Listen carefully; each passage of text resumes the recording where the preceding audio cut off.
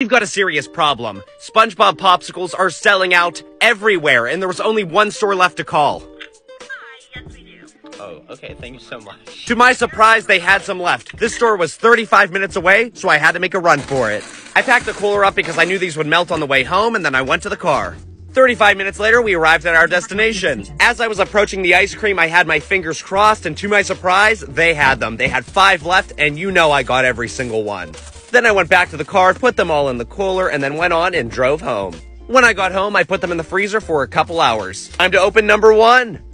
This one had bloody teeth like he was a zombie. For number two, he had some derpy teeth and some messed up square pants. For number three, he had some sharp bunny rabbit teeth and some derpy eyes. Number four was a complete crime scene. I've never seen a SpongeBob popsicle this beat up. Deep breath for number five. Here we go. As I was opening it, I saw an eye where an eye doesn't belong, and yeah, this one had three eyes, one located on his pants.